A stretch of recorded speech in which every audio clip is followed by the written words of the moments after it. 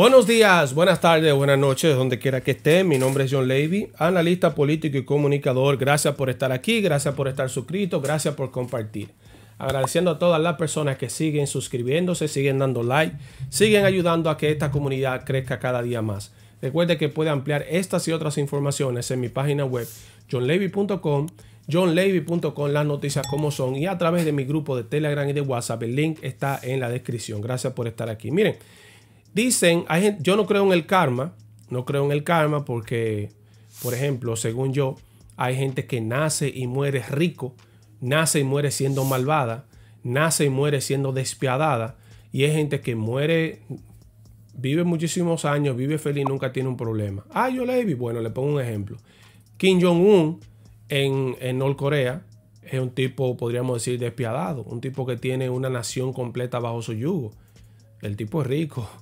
El tipo vive tranquilo, vive feliz y tiene generaciones de su familia viviendo así. Entonces, a la gente que cree en el karma, yo le hago una pregunta pasa con, con gente como Kim Jong-un?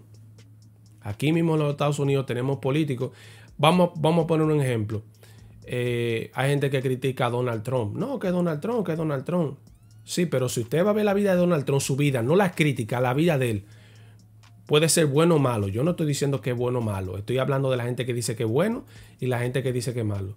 Donald Trump ha, sido rico la vida entera. Usted puede decir lo que usted quiera, pero ha sido rico la vida entera y ha vivido una vida cómoda. El tipo tiene setenta y pico de años, no está enfermo, ha, sido un tipo exitoso. Usted puede decir lo que usted quiera, pero un tipo exitoso. Millonario desde chiquito, que si el papá le dio o no un millón de dólares, perfecto.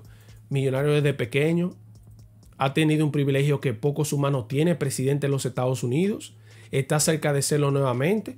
Y hay mucha gente dice que es malo, entonces ¿dónde está el karma? Ah, que lo están sometiendo. Sí, ok, lo están sometiendo, pero fue presidente ya y ha vivido una vida cómoda. Entonces, ¿dónde está el karma en ese sentido?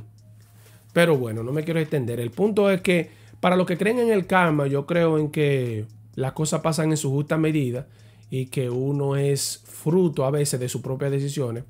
A Farideh Raful, que dio unas declaraciones recientemente, yo la veo como sola, apartada, ya está un poco desesperada. Primero vamos a ver de qué se trata la noticia de esta, que la puede ampliar en yolevi.com y después le voy a dar mi parecer sobre el mismo. Y miren qué pasa. Faride confirma su reelección para el Senado en el 2024.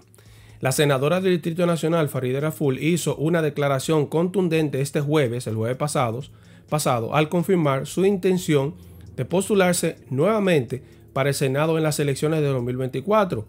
Raúl Raful, miembro del, miembro del Partido Revolucionario Moderno, PRM, convocó una rueda de prensa con el propósito de aclarar cualquier incertidumbre sobre su candidatura y el respaldo de su partido.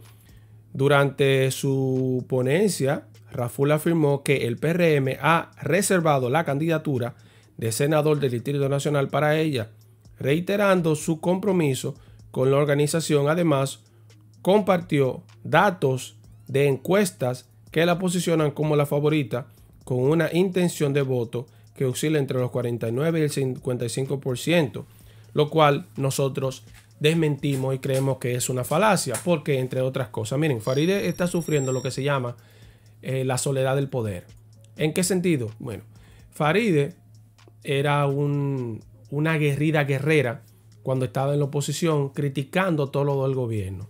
Pero hay un problema cuando tú criticas todo de la oposición. Por ejemplo, yo le evito hacer lo mismo, sí, pero yo critico todos los gobiernos. Yo critico lo que se hace mal en sentido general y es mi trabajo, está dentro de mi trabajo. Pero Farid es una persona que no puede dar ciertas declaraciones porque, porque le puede pasar lo que le está pasando ahora mismo. ¿Y qué le está pasando? Le está pasando que hoy la gente hasta se sorprende cuando Farid Raful dice algo en los medios de comunicación.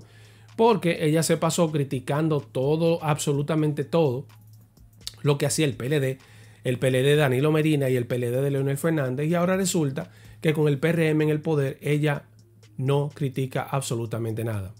Para nadie es un secreto que para Faride optar por la senaduría del Distrito Nacional hubo una pugna, una pelea interna dentro de ese partido, porque debemos recordar que entre otras cosas el Partido Revolucionario Moderno PRM es un partido integrado por caudillos, por pequeñas islas, ahí cada quien tiene una cuota del poder, por grupos, está el grupo de Hipólito, está el grupo de, del PRM, está el grupo de, el grupo de Abinader, está el grupo de de Guido Gómez Mazara, etcétera, etcétera, etcétera. El grupo de Carolina Mejía, que es el mismo de Hipólito, el de emprendedores, David Collado, etcétera, etcétera. Y todo el mundo está constantemente girando para su lado y no lo hacen ni siquiera oculto lo hacen públicamente. Por ejemplo, al PLD le podemos dar hasta cierto punto cuando Leonel y, y Danilo empezaron a discutir, le podemos dar el beneficio de que hay una formación política histórica en ese partido político que le permite a ellos su diferencia, subsanarla, cada uno en su lado y dentro de su partido. Aunque últimamente no se vio en el PLD, pero eso es lo que tradicionalmente se veía. Pero ya vemos que el PRM todo el tiempo, lo que sucedió en el PRD y por la cual se fragmentó esa organización política, dice su cosa públicamente. Pero el gran reto y el gran problema que tiene Faride es que no es cierto lo que ella dice, que ella tiene entre un 40 y un 55% del electorado, porque el electorado, entre otras cosas, se quitó la, la venta de los ojos con políticos como Faride, que vuelvo y repito, a nivel personal no tenemos cómo desmeditarla. Faride Raful es una política preparada, un, historial tiene en políticas dentro de esa organización política que hay que reconocerlo.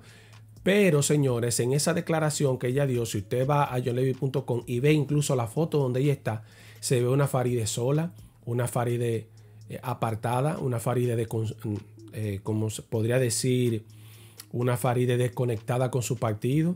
En la foto que ella sube no hay ningún otro senador.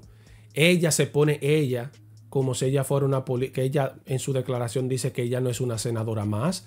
Hay que leer eso que ella trata de decir cuando no es una senadora más, porque ahora mismo la Cámara del Senado está integrada en gran parte por el Partido Revolucionario Moderno, entonces hay que tratar de leer entre líneas que ella trata de decir, porque si nos vamos a propuestas introducidas, a, proyectos políticos introducidos en la Cámara Alta, que es la Cámara del Senado, Farideh es una de las menos inactivas una de las menos inactivas que realmente ha llevado propuesta a la Cámara del Senado es Faride. Y ella lo que se ha encargado es de desmeditar a sus propios compañeros. No debemos olvidar que Faride es la política, entre otras, que hizo una fiesta cuando Eduardo Estrella no era nuevamente presidente de la Cámara del Senado. Y le hago una pregunta. ¿De qué partido es eh, ese caballero, Eduardo Estrella, Senado, de senador? Por Santiago. ¿De qué partido? Pues del PRM. Entonces vemos una Faride que no solamente hacia afuera del, P, del PRM critica esa organización política y tuvieron que a fuerzas de chantaje y amenazas reservarle esa candidatura que a muchas luces todo el mundo sabía que se la estaban reservando o a Guillermo Moreno por una parte o a otro candidato de Santiago que por ahora me voy a reservar el nombre porque lamentablemente los números de Faride se han desplomado. Ella va a tener que hacer un esfuerzo titánico. A un punto, la popularidad de Faride ha, descendido tanto que ella llegó a un punto de utilizar poliquitería barata, de ir cuando, cuando se produjo la tormenta en República Dominicana con la defensa civil a tratar de ponerse una faja de que estaba ayudando en realidad no.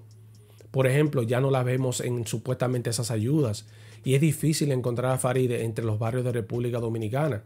Entonces yo entiendo que Faride lo que está haciendo es víctima de su propio accionar, de sus propias decisiones y hasta su propio partido se puede decir que en cierta, cierta medida le ha dado la espalda. Le ha dado la espalda entre otras cosas porque Faride se creyó impoluta, se, se creyó más poderosa de lo que realmente es y muchos políticos dentro de esa organización política le han dado la espalda, empezando, nuevamente digo, por sus propios compañeros. Ella ocupa una de las senadurías más importantes, la senaduría del distrito, y no vemos ningún otro senador endosándola.